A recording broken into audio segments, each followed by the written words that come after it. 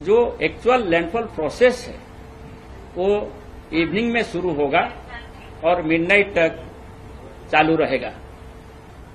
After the landfall फिर ये north east दिशा में इसका गति चालू रखेगा और धीरे धीरे वीक होते हुए कल सुबह को इसका wind speed 70 to 80 kilometre hour gusting to 90 kilometre hour हो जाएगा।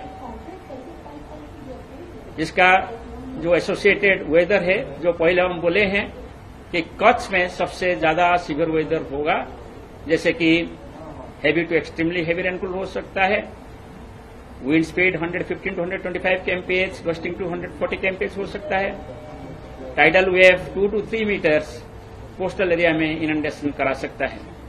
और ये बारिश से लोलाइंग एरिया में भी इनंडेशन हो सकता है। और जैसे हम पहले बोल के रखे हैं ये जो विंड स्पीड है, इसमें स्ट्रक्चरल डैमेज हो सकता है।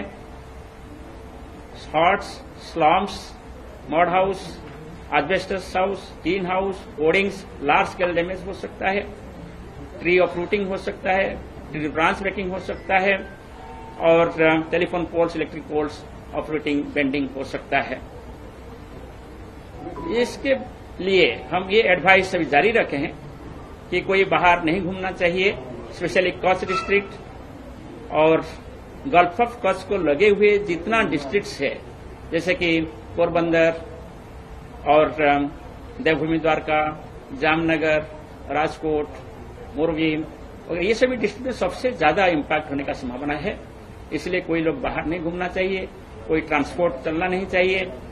Air transport railway transport surface transport सभी रेगुलेटेड होना चाहिए। इसके साथ साथ जो ऑफशोर ऑपरेशन है और ऑफशोर इंडस्ट्रीज़ है, उनका एक्टिविटी भी रेगुलेटेड होना चाहिए। कोई समुद्र के अंदर नहीं जाना चाहिए, सोलह तारीख सुबह तक और सभी सेफ़ प्लेस में रहना चाहिए।